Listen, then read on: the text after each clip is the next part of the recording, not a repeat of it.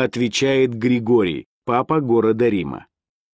Через сколько дней может женщина войти в церковь после того, как родит?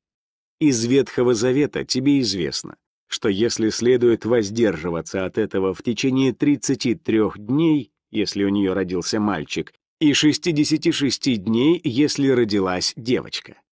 Однако это следует понимать иначе.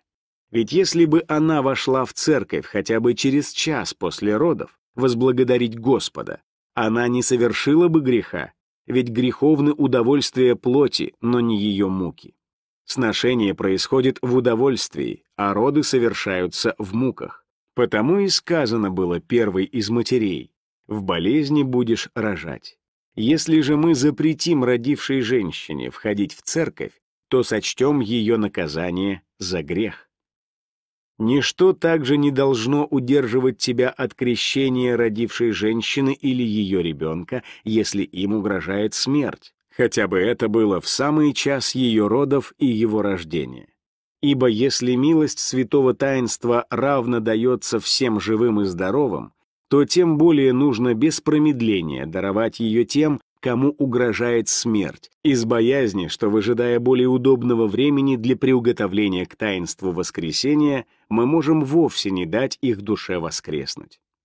Ее же муж не должен приближаться к ней, пока дитя не отнято от груди. Кроме времени после деторождения, женщины не могут вступать в сношение со своими мужьями во время месячных и священный закон велит даже карать смертью всякого, кто приблизится к женщине в это время. Вопрос Августина. Могут ли двое родных братьев жениться на двух сестрах, семья которых им не родственна? Отвечает Григорий. Такое допустимо, поскольку в святых речениях нет ничего, что запрещало бы это. Вопрос Августина.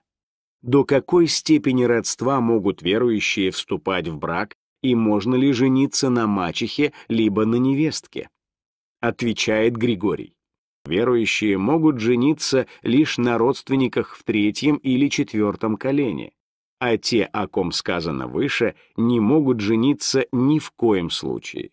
Жениться на мачехе — смертный грех, ибо сказано в законе «наготы отца твоего не открывай».